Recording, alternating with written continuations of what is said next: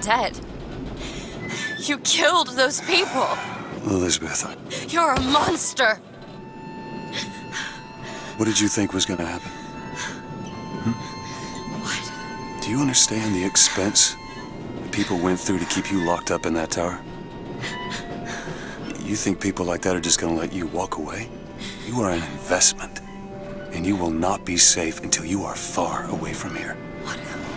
What? Do they want from me? I don't know. But that's the last time anyone gets the drop on me.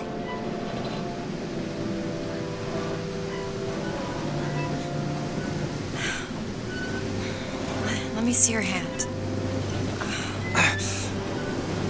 What happened back there? It's not the last of it, is it? I don't know. There.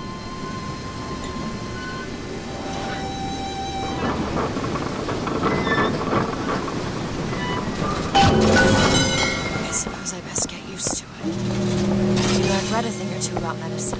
Do my best to keep you supplied with remedies. If your wounds are deeper, I'll try to keep you on this side of the abyss.